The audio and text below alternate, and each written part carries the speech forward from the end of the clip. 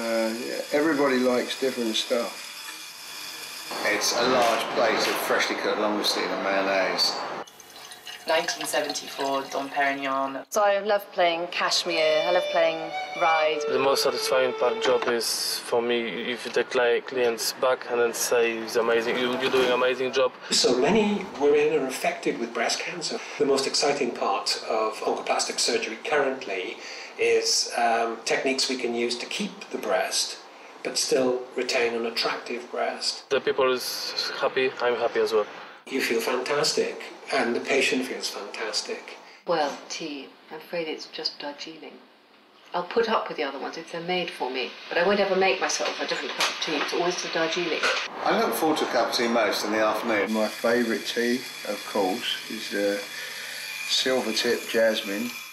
The Lost Malawi and the oolong. Uh, it's green tea and silver tea. Silver tip, because it's lovely to, and feels really cleansing and it wakes me up. A refreshing cup of uh, one of Henrietta's teas is just something to look forward to. Henrietta's jasmine tea. That now for me is absolutely the, the best tea in the world. Divine. Absolutely divine.